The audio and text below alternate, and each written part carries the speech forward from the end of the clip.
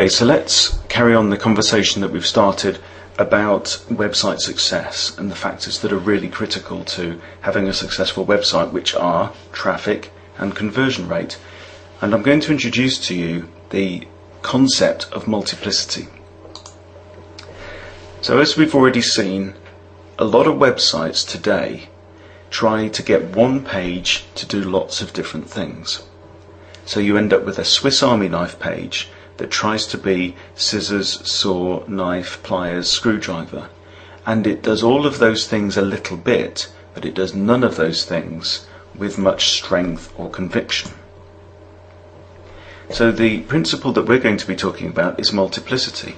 And that essentially means that you break apart all of those different things that you're trying to be, all those different things that you're trying to say, and you break them into separate pages.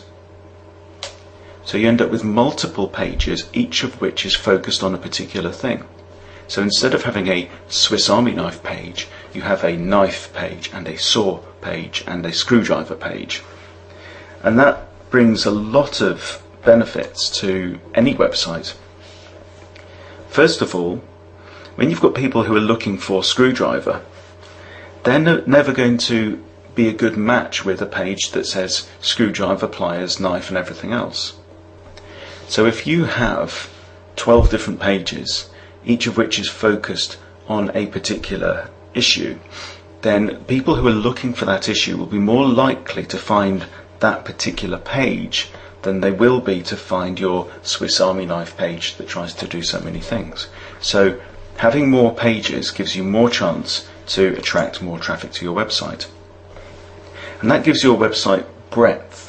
In later weeks, we're also going to address how multiplicity can let you address markets in greater depth as well. Let's say that you're at this party and two of the people that you speak to could benefit from your e-commerce offering let's say you specialize in doing e-commerce sites. Now, one of those people is quite familiar with e-commerce. They've done some research, they know about different platforms, they've spoken to a few different providers, and when they speak to you, they're going to find out why you are the right person to help them, what benefits you can offer them. The second person just has a regular bricks and mortar store and they've never really thought seriously about whether they could sell their products online as well. Now, both of those people could end up being an e-commerce customer of yours. They could both end up using the same service, but their awareness of their own needs and their own choices are very, very different. And multiplicity, as we're going to see later, will also help you address them. When you've got a page that talks specifically to a person's need, then that page is going to get their attention. And getting attention is the first step to achieving a conversion. If somebody's doing a search for, I need a good local web designer in my area, and they find a page saying, I am the local web designer for your area, then that's a page that's really targeted at their needs. It's a page that's doing a particular thing. It's saying, I am the web designer for this particular area. And somebody who's looking for that is going to be finding what they want. If you put up a website that says web designer, then it's not going to be a good match for somebody who's got a particular specific need. So even if they do find your page, if it's one of the many that they click on and they look at it, they're not going to see exactly what they're looking for. They're going to see a bit of what they're looking for. So your web page will be targeting that person better. It's going to get their attention. It's going to get their interest. It's going to get them excited and get them to want to speak to you. Now, because multiplicity is about having many pages, you could have one page that says, I'm the web designer for this town, and also I'm the web designer for this county as well, or this particular area, you can have multiple different conversations, but because each of those conversations is targeted at a specific market, when any of those people come in through that particular landing page, then all of them are going to get a much better idea that they've found what they want than if any of them found your Swiss Army knife page that tries to do lots of things together and none of them very well. And all of that also leads to more conversions. So today, specifically, we're going to look at traffic and how multiplicity, the approach of multiplicity, multiple landing pages, can get you more traffic. So I'm going to give you a quick overview of search engine optimization. This is one of the big strands of the course. We're going to learn an awful lot more about it. So if you put yourself in the position of Google, when somebody does a search on Google and they search for web designer Cambridge, then Google's job is to look in its massive index of billions and billions of pages. And what's it trying to do? It's trying to f- organize any results that talk about web and designer and Cambridge into a list. And the number one result on that list is the page that Google thinks is the most about web designer Cambridge. The second one is the one that's next most about web designer Cambridge. And Google uses two factors to establish how much a page is about a certain topic. The first factor is what does the page say it's about?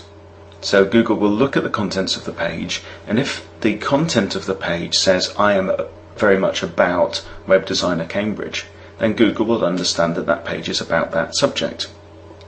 The second factor is what does the rest of the world say that web page is about? And this is the big innovation that Google added to the search engine technology. Before that point, pretty much search engines just looked at what does the page say it's about. So it was quite easy to fool the search engine into thinking that your page was particularly about something. What Google said is that, well, why don't we use this kind of social proof? Why don't we say how many other pages link to this page and how, how many of those pages say that that page is about the same subject? And when you've got a page that says it's about something and you've got lots of other pages that link to it, and those links also say it's about something. Say, for example, you know, talk to this guy, he is a great web designer in Cambridge, and that's the text of the link, that's what you click on. Then Google says, well, that's a vote from somebody else to say what this page is about. And that's how they compute the relevance of a page. Now, what the page itself says it's about is only worth about roughly 10% of the relevance. It's a minor factor. What the rest of the world says a page is about is a much more important factor. So the first question is what do you want to rank for? So before you create any web page, you should know this page is going for this particular traffic. If it is a landing page, not all pages are landing pages. Contact us doesn't necessarily need to be reaching out to a particular kind of traffic. Um, but any landing pages that you've got, the definition of a landing page is that it's trying to address a particular market. So the first question is what do you want to rank for? And the tool that we'll use for that is called keyword research, and we're going to do a lot of keyword practice, guys. Um, we're going to go into that in, in great depth. I'm going to show, share with you some tools. I'm going to show you exactly how to use them.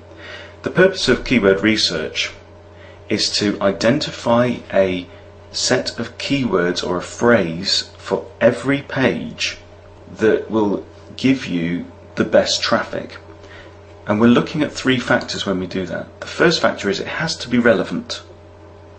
There's no point attracting traffic for a page when those people are looking for something else.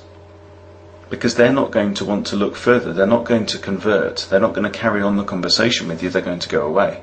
So the traffic has got to be relevant. You've got to find people who are looking for what the page offers. So the more relevance, the better. You also want terms that a lot of people are searching on. This is all about search engines. So keyword research techniques and the software that we'll be using will show you this is how many people have been searching for this term in the past month, year, day, whatever. So you want to find terms that quite a lot of people are looking for because that's going to bring you traffic. The other thing is that you want pages for which there is relatively low competition. If you try and compete for web designer, you're going to have a very hard job to get near the top of the rankings, which is very important, as we'll see in a second. So what you want to do is you want to find terms that are relevant, that will give you a relatively good amount of traffic, but for which you're competing against relatively low competition. And we'll go into this again in a lot more detail. So here's why ranking is so, so important. This graph kind of shows you how many clicks or what percentage of the clicks go to which positions on the search engine. Now, on average, the number one position on Google will get you about 40% of all the clicks for that search. If somebody searches for web designer, the number one result for web designer will get about 40% of those clicks. Number two result gets about 25, number three goes down, and so on. Now, the first 10 results on here, as you can see, account for about 99% of all the clicks. Page 1 accounts for 99% of all clicks from search results. And then some people go on to page 2, some people you know, eventually go on to page 10, but really there you're talking about very, very small change. So if you want to get good traffic for anything, you've got to be on page 1 for that term. This is why it's very important to take competition into account because for web designer there'll be millions of pages that mention web designer and if you can get onto page 50 for web designer, then you're going to get absolutely no traffic at all. Even though millions of people might be searching for it, most of those millions are clicking on the top 10 results and only a few will trickle down to you, down at page 50 or wherever you are. So what you've got there is you've got a huge pie and you're only going to get one crumb from that pie. Doesn't matter how big the pie is, you're only getting a crumb. It's much better to get a big slice of a small pie. So if you can be at number one for a particular search, even though there are fewer people searching on it, it's a small pie. If you get 40% of that pie, it's going to be a lot more than the crumb that you get from the giant pie. Here's something else that's very interesting, which is to ask where does traffic actually come from? And this really, really boosts the argument for multiplicity. See, a lot of us will tend to think, well, people will come in through our homepage.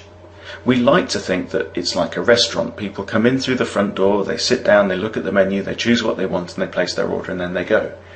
But that's not how it happens. It's much more random than that. Really, from from websites, what attracts people is content, and the content will will be spread all over the website. So it's likely that a minority of people will come through your homepage, and a minority of people will be finding you uh, using the terms that you think they'll find you. Now, the chart on this page is part of some analysis that I did of all the traffic to web design from scratch, and it shows you the most popular 20 keywords. Now, Web 2.0 design is the was the most popular keyword over that year. It got 3,409 people searched on that term. Then web design was second with less than half of that traffic. Then CSS block and it goes down and down and down and down. Now, where do you think this website gets half of its traffic from? Do you think that these top 20 terms give web design from scratch half of its traffic? Or maybe it's the top 50? Or maybe the top 100 terms will give you half of your traffic? I was very, very surprised when I actually did the analysis to find that I didn't, I couldn't even get down to 50% mark. This is a graph that shows the amount of traffic that we got over a year. So I think the, the previous one was actually for only a month. This is the year's results. The number one top term gave our website nearly 40,000 searches, nearly 40,000 visitors from Web 2.0 design, and then it drops down. So these the top 20 or so will give us you know, well over a thousand terms, maybe more than that. But the orange area of this graph that you can see, in fact, everything that you can see on this graph isn't even half of the traffic for the website. It's amazing. I went down to the top 500th. I went to the 500th term, and the top 500 terms add up all that traffic together, accounted for less than 45% of the traffic. So what does that mean? Well, you see the area that I've indicated with the long tail. That's when the traffic goes down to three, two, ones, and then carries on at ones. Okay. Now the long tail is very, very, very, very long. The long tail is where all the traffic for your website will come from. So you'll have maybe a major term, web design, web design tutorial, web design Cambridge that you might want to go for. But most of your traffic isn't going to come through that exact term. Most of your traffic will come from other combinations of words that are on your website that happen to match what people are searching for because most people are not searching for web designer Cambridge. They're searching for things like, I need to find a web designer near blah. They're searching for a huge, huge range of different phrases. And the more content your website has, the more different pages your website presents that focus on different things, the more chance you'll get at getting that really nice long tail, which will get you lots and lots of traffic. So I hope this has started to show you how the approach of multiplicity, of having more pages that do different things instead of one page that tries to do a lot, is really going to help you get a lot more traffic. So we're going to go over this a lot, lot more over the coming weeks.